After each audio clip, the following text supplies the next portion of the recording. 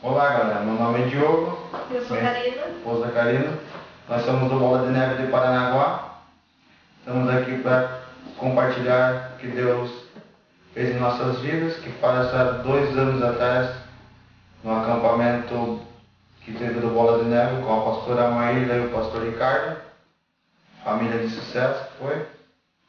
E minha esposa vai compartilhar um pouquinho o que aconteceu nas nossas vidas. A minha vida, nossa, nosso casamento era todo estruturado, né? Eu sofri há sete anos, né, no, na minha, no meu namoro entre o meu casamento. E através desse acampamento, o meu marido foi, meu marido foi restaurado, ele mudou comigo. E, tipo, eu não consegui engravidar, eu tinha um problema que eu não posso, não posso ter filho, não podia ter filho.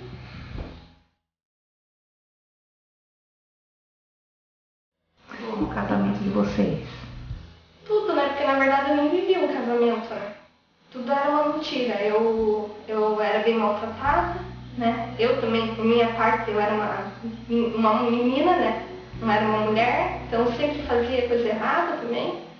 E tipo assim, ele, ele usava droga, ele saía, ele me deixava em casa sozinho, dizia que ia jogar bola, ia pra balada, dizia que ia trabalhar e ele saía.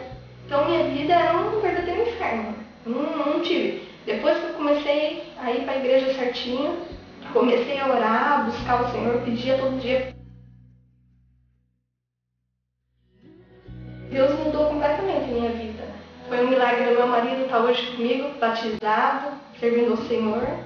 E eu tô aqui com essa minha princesinha.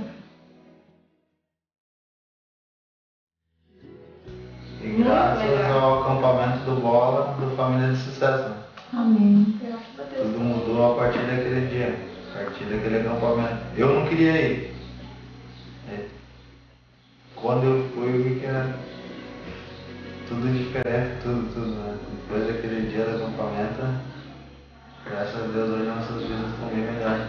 Hoje nós participamos do Ministério de Casais, coisas que eu nunca imaginei na minha vida, Faz parte do participando. Ministério de Casais. Então, meu,